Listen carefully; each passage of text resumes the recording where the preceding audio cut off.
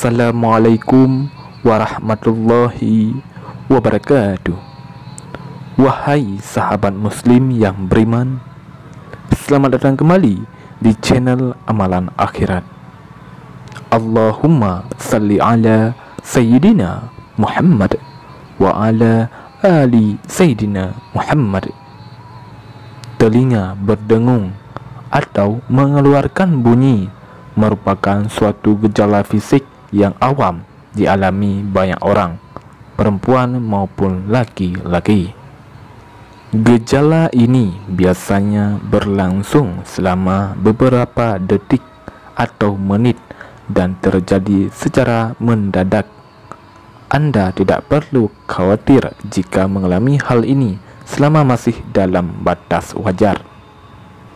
Namun, apabila gejalanya berlangsung lebih lama, bahkan hingga berhari-hari, maka Anda patut waspada karena dikhawatirkan telinga yang berdengung tersebut merupakan gejala atau pertanda penyakit yang serius. Penyebab telinga berdengung dalam Islam, telinga berdengung memiliki arti tersendiri telinga yang berdengung merupakan tanda bahwa Rasulullah Sallallahu Alaihi Wasallam memanggil orang yang berdengung telinganya tersebut untuk mengingat Rasulullah Sallallahu Alaihi Wasallam. Imam Nawawi berkata, sesungguhnya telinga itu berdengung hanya ketika datang berita baik ke ruh bahwa Sayyidina Rasulullah SAW telah menyebutkan orang pemilik telinga yang berdengung tersebut dengan kebaikan di Al-Mala' Al-A'la majlis tertinggi di alam ruh. Sedangkan menurut ilmu kesehatan, telinga berdengung adalah yang pertama mendengar suara bervolume keras di ruangan tertutup. Yang kedua, lanjut usia. Yang ketiga, menurunnya fungsi saraf pendengaran. Yang keempat, organ telinga mengalami infeksi. Yang kelima, gendang telinga bermasalah. Yang keenam, naik tekanan darah. Yang ketujuh, stres akibat beban pikiran yang berat. Yang kedelapan, efek samping dari serangan flu atau pilek. Yang kesembilan, telinga dalam keadaan kotor. Yang kesepuluh, efek samping akibat konsumsi obat sejenis aspirin dan lain-lain. Sebaiknya kita menghindari hal-hal yang berhubungan dengan penyebab telinga berdengung tersebut baik itu telinga berdengung atau gejala lainnya. Hendaklah kita senantiasa menghadapinya dengan mengingat Allah Subhanahu wa taala sebanyak-banyaknya seperti beristighfar, berzikir. Salah satu keutamaan berzikir dengan mengingat nama Allah adalah hati menjadi tenang.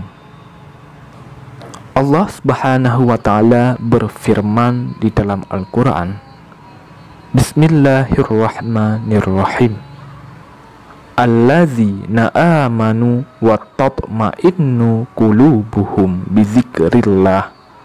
Ala bizikrillahi tatma'innul qulub. Artinya yaitu orang-orang yang beriman dan hati-hati mereka menjadi tentram dengan berzikir mengingat kepada Allah. Ingatlah hanya dengan berzikir mengingat kepada Allah lah hati akan menjadi tentram. Quran surah Ra'ad ayat 28. Adapun selain beristighfar dan berzikir ada doa ketika telinga berdengung. Adapun doanya Bismillahirrahmanirrahim. Allahumma salli wa sallim ala Sayyidina Muhammadin wa ala alihi Sayyidina Muhammadin zakarahullahu man zakarani bi khair. Artinya, Wahai Tuhanku, berilah salawat dan sejahtera atas Sayyidina Muhammad dan atas keluarga Sayyidina Muhammad. Semoga Allah menyebut dengan rahmat orang yang menyebutku dengan kebaikan. Jika telinga salah seorang kalian berdengung, maka hendaklah ia mengingat aku, Sayyidina Rasulullah sallallahu alaihi wasallam dan membaca salawat kepadaku. Selain beristighfar, berzikir dan membacakan doa ini, di sini kita bisa membacakan salawat pendek yang diajarkan oleh Rasulullah Sallallahu Alaihi Wasallam. Adapun salawatnya, Allahumma salli ala Sayyidina Muhammad wa ala ali Sayyidina Muhammad. Ini bisa kita bacakan sebanyak 100 kali saat telinga kita berdengung Demikianlah penyebab dan doa yang diajarkan Rasulullah Wasallam ketika saat telinga kita berdenging. Wahai sahabat Muslim yang beriman, marilah sama-sama kita senantiasa memperbanyak beristighfar, berzikir, dan bersalawat kepada Rasulullah Wasallam. Semoga Allah menjauhkan diri kita dari segala hal yang buruk. Saya akhiri wabillahi taufik wal hidayah. Wassalamualaikum warahmatullahi wabarakatuh.